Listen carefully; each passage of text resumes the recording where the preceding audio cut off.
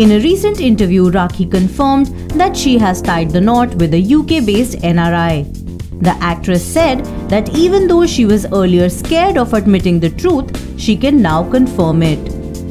Giving further details about her husband, Rakhi said that his name is Ritesh and while he has already left, she will soon join him once her visa arrives.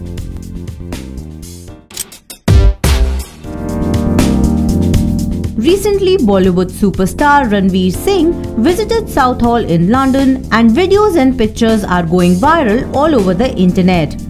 Dressed in a navy blue suit, Ranveer looked absolutely dapper.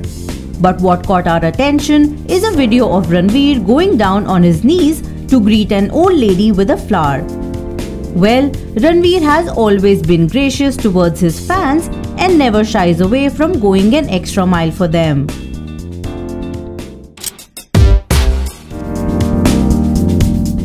Veteran actor Rishi Kapoor, who is currently undergoing cancer treatment in the New York City, has been feeling homesick ever since he left India in September last year. The actor has time and again shared tweets expressing his feelings. Recently, too, Rishi tweeted and wrote, Confession Living in this concrete jungle Manhattan for so long, you don't get to see much of the sky. Yesterday was by the riverside saw and heard an aircraft soar above. A visual and sound so common back home. Loved that annoyance. I guess it meant freedom and getting back home.